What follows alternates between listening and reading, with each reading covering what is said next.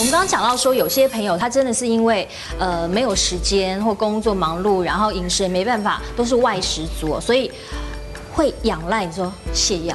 嗯，哎呦，这泻药会伤身体的哈。会会会，因为就像刚才蔡教授常讲，其实第一种常见是有些女生到后来是她不用泻药，她就大不出来。嗯，所以很多医院会。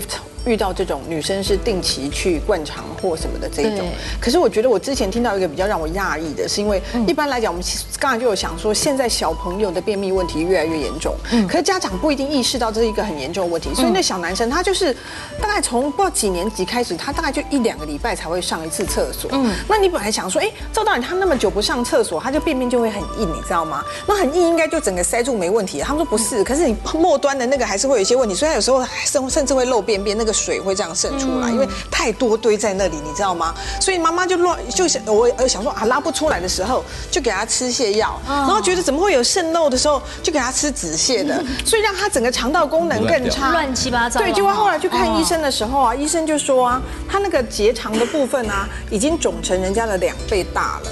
也就是说，他本来可能神经节就比较少，那功能比较差，可是你又让他只是止泻。啊，泻药、止泻、泻药，结局就是很多堆在那里，所以他就变成一个叫巨结肠的状态，他肠子变成一般人的两倍大，哇后来还是要手术把没有用的那一段截掉。哇，这个真的是也这么小就就这样子哈。以前因为他们这种人有些是天生他的肠子就已经神经比人家少，这个时候你要更小心对对去照顾。对，所以泻药是真的让你整个，我刚才讲过说，其实肠子是我们第二个大脑，嗯，很多的大啊很多的神经节，那你有便意不去，那什么时候啊整个乱掉？用泻药哦，那三不五时就来个减肥餐呐 等等的，我不是讲你哦，哦，没有，我都不用减肥餐。这种都让你整个会乱掉。我们之前有做个调查，我们调查了一千七百多个小孩子哈，那国国小学生哦，国小学生有五点六 percent 是一一个礼拜上一次打好的，这个真的很严重了。所以那时候讲全换算全省大概是十万个小孩子。是一天上一次，那一个礼拜上一次大号，所以真的不能小小看这件事是情。是是，那当然这些要吃久了，一定对身体很不好嘛哈。那晚肠剂，它是因为泻药是从上面吃的，完了从下从下面通上去，它这种东西是对身体的伤害在哪里？晚肠剂的话，其实它应该说救急不救穷啦，就是有时候真的那个大便很干硬的时候，因为晚肠它里面是甘油，就等于说很像，就你吃进去的是种子油那一类东西，它其实就是灌一点油一点水，嗯然后进去让你的那个在肛门口很硬的那个便。然后去刺激它。对，然后就是它，因为甘油它里面也有会帮助你肠胃蠕动，嗯所以就让它比较好排出来。但通常这种就是呃偶尔为之。那我们临床上会遇到有一些女生哦，她就是可能看一些节目啊，或是一些什么艺人说他们都有晚肠的习惯，所以他们即便他们没有便秘，他们也会去晚肠，因为他觉得说这样排比较。像他以为可以瘦身哦。对比较时髦。对，他说这样排比较干净，他觉得这样就很很顺畅这样子。可是如果你跟他讲说，哎，你不要再用晚肠，他不听，他会觉得说我要这样排比较干净。那长期下来讲，就是因为一直长期的刺激，虽然目前来讲不见得说一定会有一些什么癌症风险，那倒没有。但是因为你这样子从外来的刺激，然后久了之后，其实它还是会让你自己以后肠道的蠕动变得比较差。是所以有可能说你用久了之后，自己的排便的那种功能就越来越不好。嗯。我自己有个概念，就是假设你真的要救急的时候，我宁愿选晚肠，不要选泻药。哦，因为晚肠毕竟是比较外来的比较它是它比较物理性的，对因为它用压力跟油让它自然的下那泻药是真的把你整个打乱掉了。如果真的要救急的时候，我所以他他也卖很好啊。有一次我们在跟药房老板在 在采访嘛，还边采访哎，怎么进来买最多的就是那个晚肠，就有些人拿来用保健，卖超好的。我跟你讲，很多女生拿来就自己保健。但是自己保健很可怕，因为保健一下。他刚刚想，当然我们不知道长期会什么刺激性，但之前真的有人因为这样，他也是长期仰赖晚肠，因为他的就是便便比较坚硬，比较便秘，然后他就自己弄。那你自己弄，如果说你不是很熟手的话，他不小心刺破他的肠道，因为有些人他不，那你知道他你你们可能没用过，他前面就是有一个尖尖的，然后剪那个弄嘛，然后他就不小心刺破他的肠道，他本身就是因为比较身体又不好，所以他整个刺破之后就引发感染，一发不可收拾。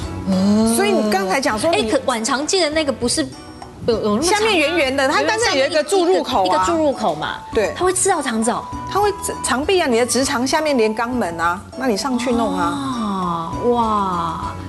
所以这种晚晚肠剂它就是救急，对，可以可以救急。好，但是不能仰赖。你救急了之后，你要去找出你自己便秘的的问题嘛。你不能老是说哦，没关系，反正我照样不吃蔬菜，照样不喝水，照样不运动，然后都仰赖那个，迟早会有问题的啦。哈，那在中医的部分怎么医治便秘？